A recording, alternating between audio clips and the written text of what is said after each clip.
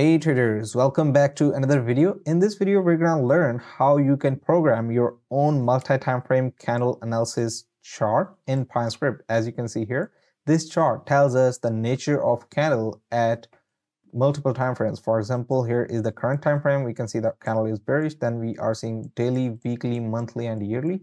So it's telling us the nature of candle at all these time frames. And you are going to learn how you can program your own indicator and also you can put any other type of data you want to inside this table as well. So now without any further ado, let's get started. So first of all, we have defined the indicator is going to be called multi-time frame candle analysis and we have set the overlay to be true because we want the table to be plotted onto the chart. And now it's time to take the inputs and the inputs we're going to take the time frames as inputs because this will help us adjust the time frames later once the indicator is applied as well. So let's go ahead and add the time frame input. So we're to say input current time frame. And here we want to take the input of time frame input dot time frame. And here we in order to give it the default value of current time frame, we're just gonna use the we're just gonna use the inverted commas and after that we're going to title it the current time frame. So here we're going to say current time frame. So that's what it's going to be called. And now in a similar manner, we're going to take the inputs of the daily, weekly, monthly, and yearly time frames as well. As you can see, if I just duplicate it multiple times, you can see the daily time frame. We are taking it as day, then weekly time frame, monthly, and yearly. Now, if I just go ahead and plot close and show you what this input does is it allows us to take input of the time frame. So let me just go ahead here. And here you can see we can select any time frame. So that's why we are taking time frames as input. If we had just assigned the input, the time frames as a variable, then we would not have been able to change it later in the settings of this indicator. So that's why we are taking the times as input. Now the next thing we need to do is we need to identify if the candle is bullish or bearish. And that we can do that by using a custom function that will be called is bullish. And here we are going to define the function. And our definition is going to be this one. So let me just go ahead and explain what we have done here. So we are requesting the security and let me just go ahead and here we want to pass in the time frame because we are taking these time frames as inputs and we want to give this function the input of time frame which we will be using in our definition of the function.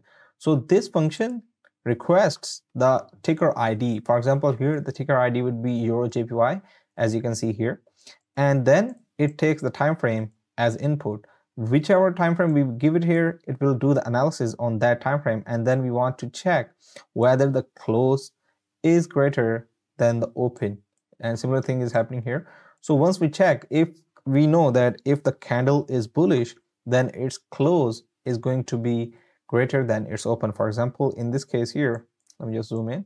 So in this case here in this bullish candle, we can see that close is greater than open. So this function would return a true value. However, if this case did not exist, if the close of a candle was less than open, then it would mean the candle is bearish and this function would return a false value.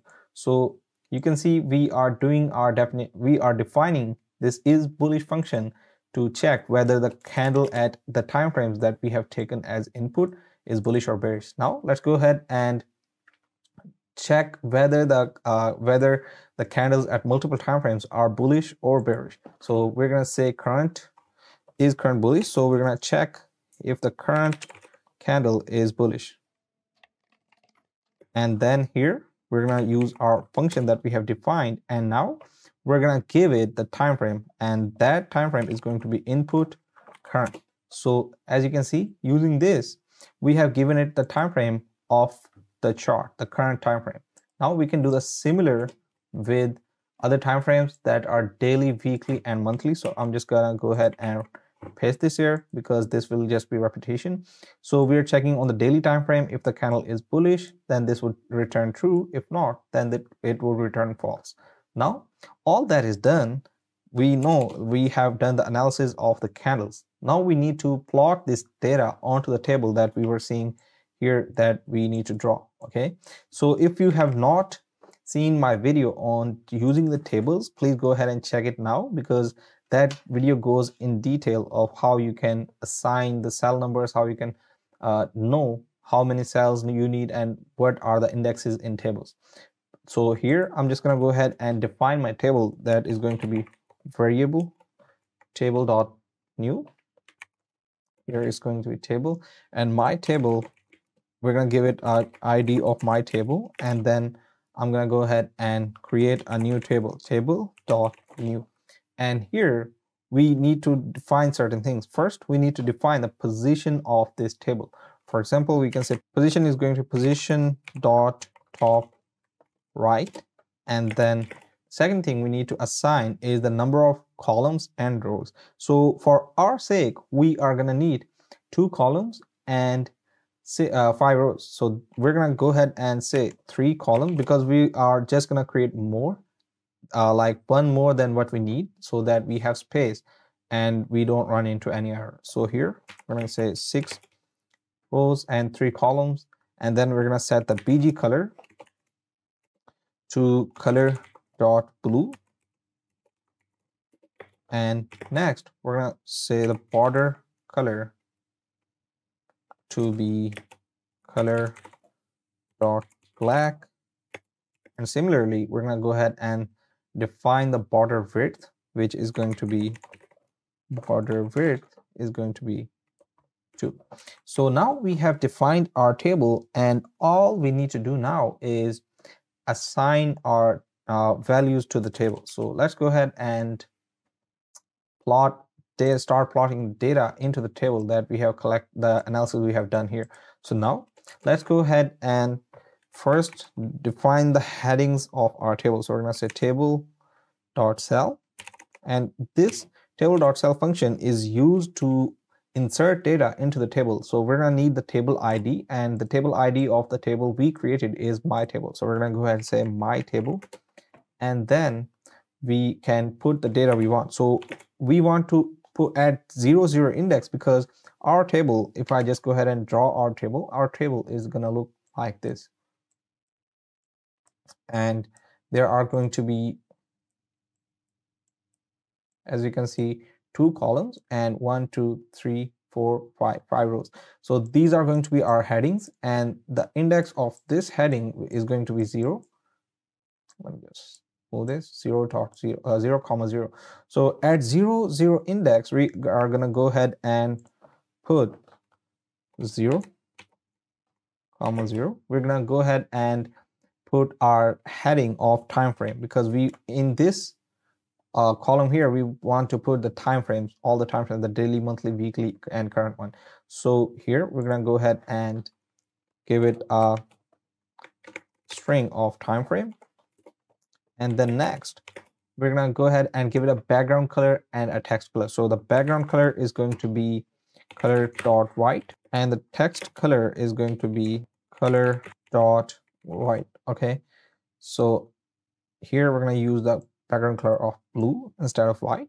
So now we can go ahead and insert the second head, uh, heading into our table that is going to be here. So the index of this one is going to be 1, 0 because in defining the indexes, the column comes first and then the uh, row comes.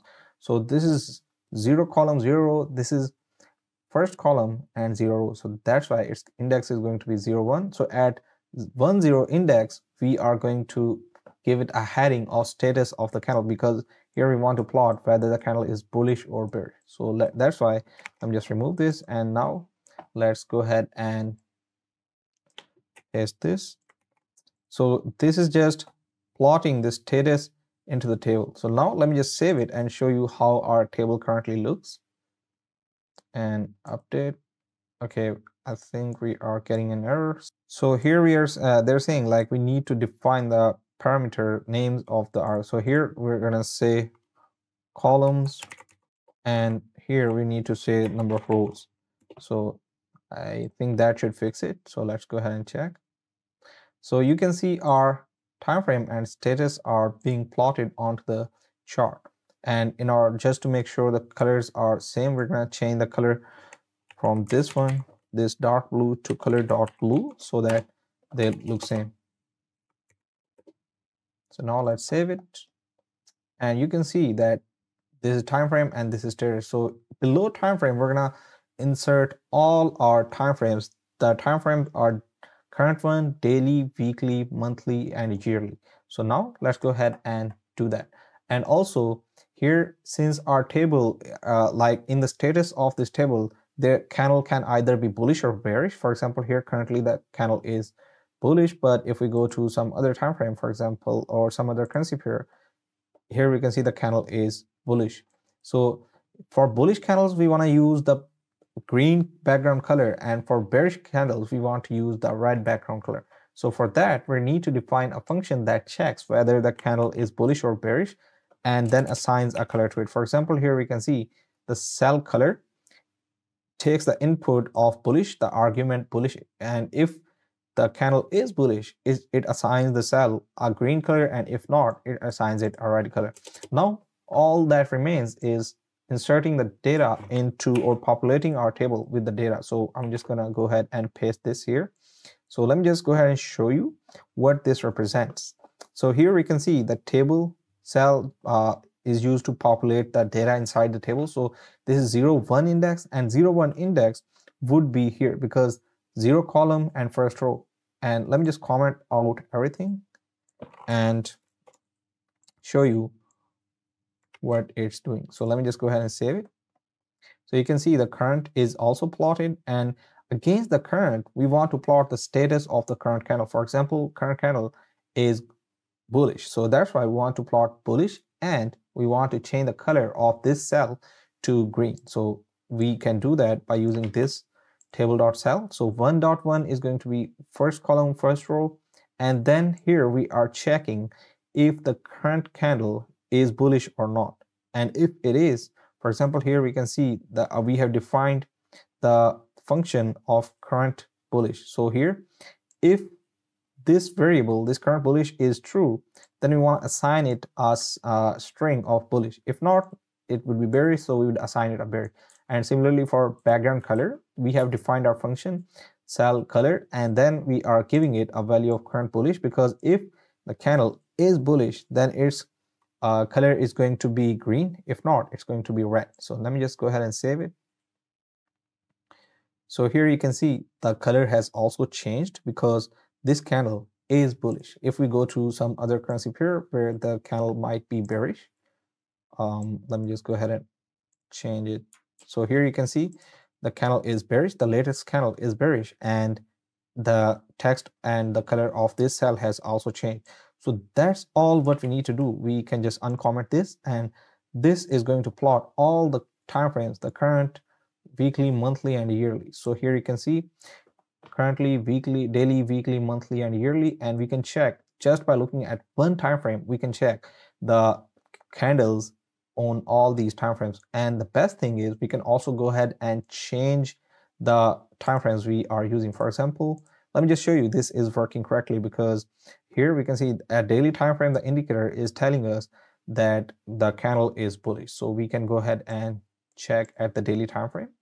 So here at daily time frame, we can see the candle is in fact bullish. And at weekly, it's bullish as well. So let's go towards the weekly. And you can see the latest candle at weekly time frame is also bullish. And if we go ahead and check monthly, bullish. And if we check the yearly, we can see again it's bullish candle. So here what sentiment we are getting is at lower time frame like um, 15 minute or 19 minute we can see that overall bias of the market is in bullish direction. So at 19 minute time frame at lower time frames we want to check the overall trend. Or what we can do is here we can also change the time frames and we can also program the indicator by because this video is getting very long so i am gonna skip that part. But we can change because for example here if we insert 10 minutes then we can change the label of this using if conditions. And if you i would encourage you to try that. If not then if you are not able to do this please let me know in the comments. I will explain it. But here we are uh, we have assigned it a 10 minute time frame the uh, daily time frame so here it's now at daily instead of daily we can change this dynamically using if condition.